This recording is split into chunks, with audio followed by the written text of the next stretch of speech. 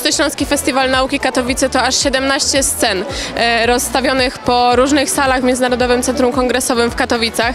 E, Mamy ponad 200 wykładów, ponad 150 pokazów, e, stanowisk pokazowych. Frekwencja jest ogromna. Dzisiaj mamy dzień dla szkół, więc bardzo dużo grup zorganizowanych ze szkół podstawowych i ponadpodstawowych odwiedza nasz festiwal. To jest rodzaj zaczynu, to jest y, rodzaj siania czy rozprzestrzeniania szlachetnego wirusa ciekawości i poznania.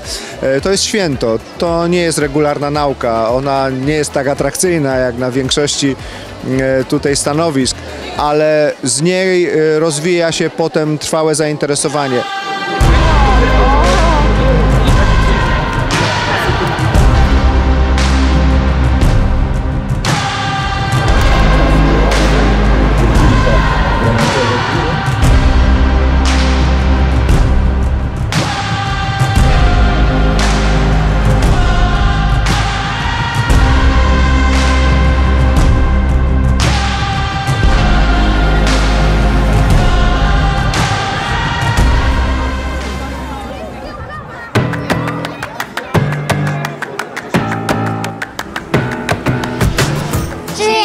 Przyjechaliśmy na wycieczkę z całą klasą. Uczestniczymy w różnych przedstawieniach tutaj. Dużo się już szwendamy i szukamy takiego czegoś, co nas zainteresuje. Można zobaczyć różne rzeczy, eksperymenty. Można się bardzo dużo dowiedzieć. E, Wiem to, bo sama jestem wystawcą i sama się dużo nauczyłam od innych. Mi się podoba to ogólnie, bo to jest tak kolorowo. Na początku byliśmy na przedstawieniu o te, e, o techn- e, tej sztucznej inteligencji. Można coś zobaczyć o medycynie i też tam o magnesach, o tych...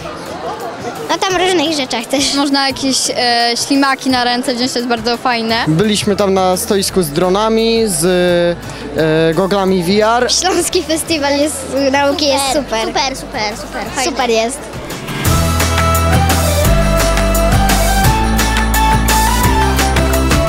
Śląski Festiwal Nauki Katowice stale się rozwija. W 2024 roku Katowice będą miastem nauki. E, można powiedzieć w zasadzie, e, tak mówimy od samego początku, że tytuł ten e, został przyznany Katowicom przede wszystkim dzięki Śląskiemu Festiwalowi Nauki. Rzeczywiście wszystko zaczęło się, jeżeli chodzi o naukę, od Śląskiego Festiwalu Nauki, kiedy zaczęliśmy pokazywać rzeczywiście ten potencjał drzemiący w laboratoriach naszych uczelni wyższych i różnych instytutów badawczych.